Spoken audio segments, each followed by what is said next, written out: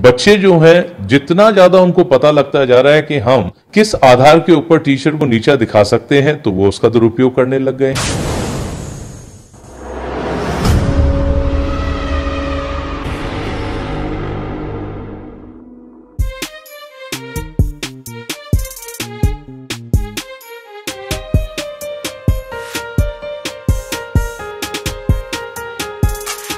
देखिए, मेरे तो व्यूज़ इसमें बहुत क्लियर हैं।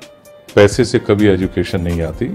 अगर ज़्यादा पैसों से एजुकेशन आती तो शायद जितने भी अमीर खनारे के लोग हैं, आज शिक्षा वाले विभाग के अंदर सर्वोच्च पद के ऊपर हो education can never be bought with money ये तो एक इनहेरिटेड क्वालिटी भी होती है, और किसी में अगर दबी हुई आस्पेक्ट होता है तो उस आस्पेक्ट को निकालने का भी काम होता है, जो गुरुजन करते हैं, कि उसमें एक क्वालिटी है और उस क्वालिटी को वो उसके अकॉर्डिंग बढ़ा सके। तो मेरा यहाँ स्पष्ट एक मानना है कि एजुकेशन एक निरंतर प्रक्रिया है और बच्चों को एक उद्देश्य देना कि इस पढ़ाई का वो क्या लाभ कैसे ले सके। तो यहाँ मैं ऐसे सहमत नहीं हूँ कि पैसे से एजुकेशन आती है।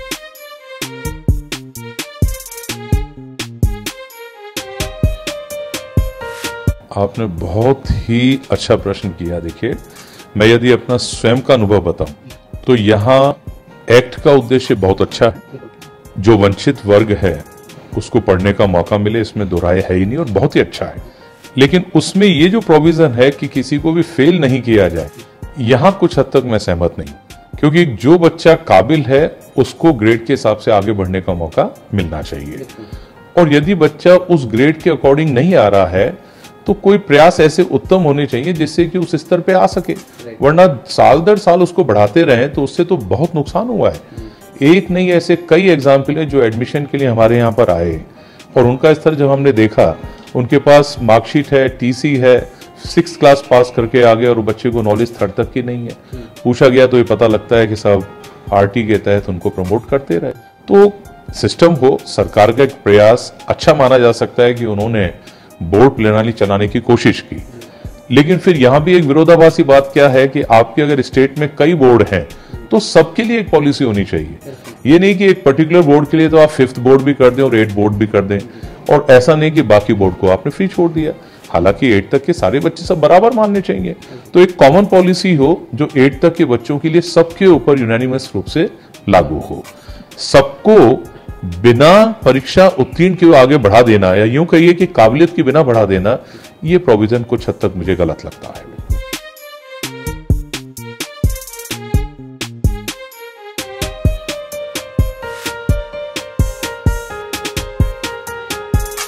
वर्तमान में भी आप देखेंगे कि पिछले 10 साल के पहले का माहौल और अब जो 10 साल से माहौल है, इसमें वर्ष दर वर्ष निरंतर गिरता ही जा रहा है स्तर गिरता जा रहा है, क्योंकि अविश्वास की भावना बढ़ गई।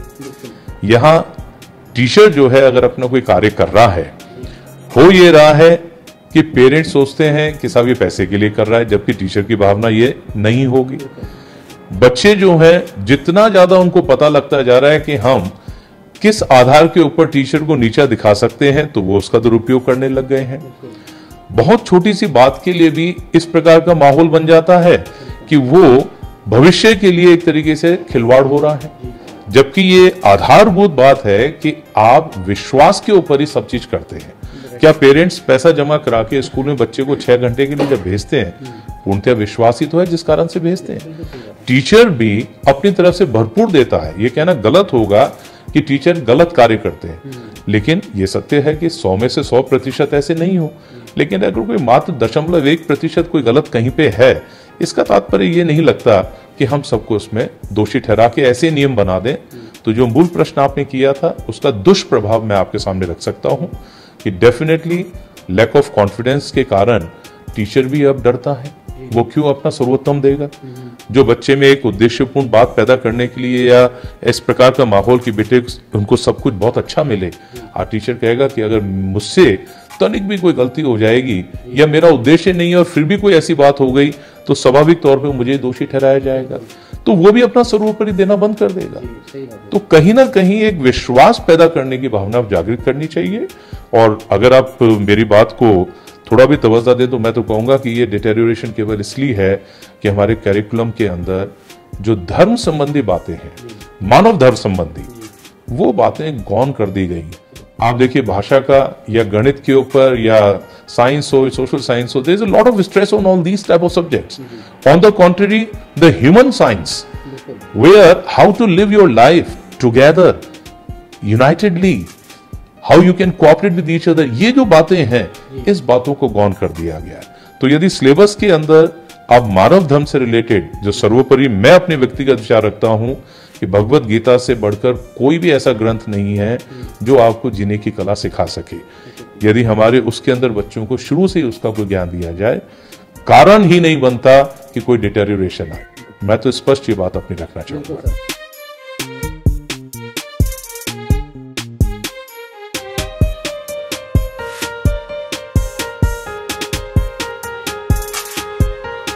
बहुत सपोर्ट करूँगा क्योंकि कोई भी एक टीचर उन सामने बैठे वाले सब स्टूडेंट के लिए रोल मॉडल ही होता है।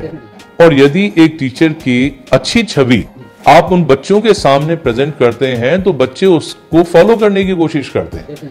और वही टीचर की आप एक बिगड़ती हुई छवि सामने प्रेजेंट करते हैं तो बच्चे उसको भी फॉलो कर सकते हैं। इसलिए अगर भविष्य की चिंता कर रहे हैं, और भविष्य का मतलब हमारे सुनहरे बच्चे जिनका भविष्य सुंदर है, हम उनके सामने एक अच्छे टीचर की छवि प्रेजेंट करें। उनके सामने ऐसा रखें कि टीचर ये कार्य करता है, उसको क्या क्या समस्याएँ आती हैं, लेकिन वो सारी समस्याओं को दरकिनार करते हुए आपको किस प्रकार से एक अध्ययन का माहौल देता है तो बच्चे अवश्य उसका आदर करते हैं। और पुराने समय की तो बात देखिए ना, जब गुरु के आश्रम में बच्चों को छोड़ दिया जाता था, क्या होता था? वो अपने गुरु को देखते थे कि हमारे गुरु जी क्या करते हैं, कैसे करते हैं, तब जाके वो उनको भरपूर फॉलो करते थे। बहुत सारे एग्ज़ाम्पल हमारे साथ हैं। इसलिए बिल्कुल आपने एक अच्छी बात रखी है कि टीचर्स की छवि को सुधारने वाली बातें सामने आनी चाहिए जिससे समाज के अंदर एक गलत फहमियाँ जो हो रही हैं वो धीरे धीरे दूर हो और इस पायस प्रोफेशन ये पवित्र प्रोफेशन है चाहे आप डॉक्टर्स का ले लीजिएगा चाहे टीचर्स का ले लीजिएगा बहुत पवित्र प्रोफेशन है। उसमें जो छीटे उछल रहे हैं उन छीटों से बचाना चाहिए।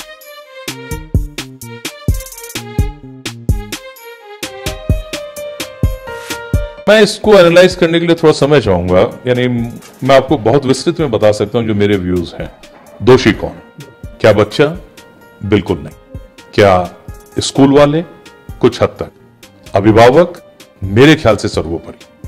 क्योंकि हम आशाएँ केंद्रित कर लेते हैं अपने अबोध बालकों पे, जब वो बहुत छोटी क्लासेस में है, और हम स्वयं ही तय कर देते हैं कि बच्चे, तुझे आईआईटी करनी है, या तुझे डॉक्टरेट करनी है, या तुझे स्टार्टेड बनना है, चाहे यानी हम अपनी इच्छाएँ ऐसे माँ बाप बच्चों के उस एज में डाल के रख देते हैं जबकि उनके खेलने खालने के दिन है।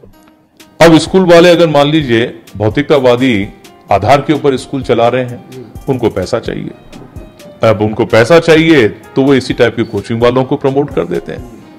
बच्चों का क्या दोष है इसके अंदर? लेकिन पिसते बच्चे अगर हम ये मान के चले उठा के देखें कि कितने बच्चों ने क्यों आत्महत्याएँ की हैं तो उसमें आपको 98 परसेंट नाइन्टी परसेंट कोचिंग के कारण ही नज़र आएँगे। तो कोचिंग किसी भी रूप में उचित नहीं कही जा सकती। अगर आवश्यकता है, कोई कमज़ोर है, उस कमज़ोर की बच्चे की कमज़ोरी को दूर करना है, कोचिंग का उपयोग हो सकता है। लेकिन मैं अगर ये मान के बड़ा अजीब सा महसूस करता हूँ कि 90 परसेंट का बच्चा क्यों कोचिंग की ज़रूरत है उसको? क्या मेरे स्कूल का टीचर जो उसको एक सब्जेक्ट पढ़ा रहा है, क्या वो इस काबिल नहीं है कि उसको लायक बना सके? कोई भी अगर इस प्रकार का केस इस विद्यालय के अंदर आज तक कभी आया है। रिकॉर्ड है, उनतालीस वर्ष पुराना ब्राइट फ्यूचर संस्था हमारी है।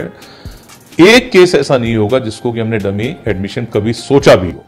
और आज भी इस वातावरण में अगर हमें बच्चे कम हुए थोड़े, मैं स्वीकार करता हूँ आपके इस चैनल पे। हो सकता है कोई भी कारण रहा हो, लेकिन डमी एडमिशन देना मेरे सिद्धांतों के खिलाफ है। तो ये जो छोटी क्लासेस में कोचिंग का पैटर्न लगा दिया है, ये भी एक जाल है कोचिंग सेंटर वालों का। जिससे बाहर आना चाहिए और इसमें हमें सहयोग चाहिए हमारे माँ बाप का, जो ये समझ सकें कि कोचिंग कोई सॉल्यूशन नहीं है। बच्चा मेहनत करना सीखे, स्कूल में सीखे, हम टीचर्स मेहनत कराएँ। जो हम स्कूल में पढ़ा रहे हैं, वो भी मेहनत कराएँ। और फिर बच्चे का जो प्रारब्ध है, उस पर भी हमें विश्वास करना चाहिए। वो अपनी मेहनत कर रहा है, बाकी फल ऊपर वाला देगा।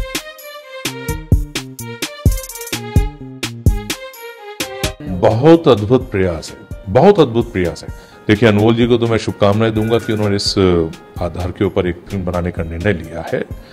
यकीन मानिएगा कि इस प्रकार की फ़िल्में ही समाज के अंदर धीरे धीरे जो गलत बातें फैल रही हैं, उसको छांटने के काम आएँगी। मेरा बहुत स्पष्ट मानना है कि जब तक आप एक टीचर की अच्छी छवि बच्चों के सामने नहीं रखेंगे, बच्चे जो हैं टीचर को आदर देना बंद कर देंगे।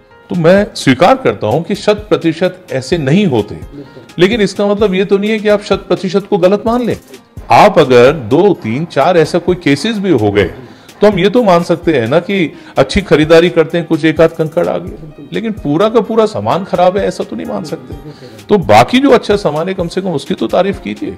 तो आप यदि अच्छी बातें सामने रखेंगे तो आपके जो सुनहरा भविष्य इन बच्चों के माध्यम से हिंदुस्तान का है, हमारे देश का है, हमारे भारत का है बहुत अच्छा आपको नज़र आएगा, स्वर्णिमा फ्यूचर डेफिनेटली अच्छा होगा, यदि हम टीचर को एक अच्छे रोल मॉडल की तरह सामने चित्रित करें।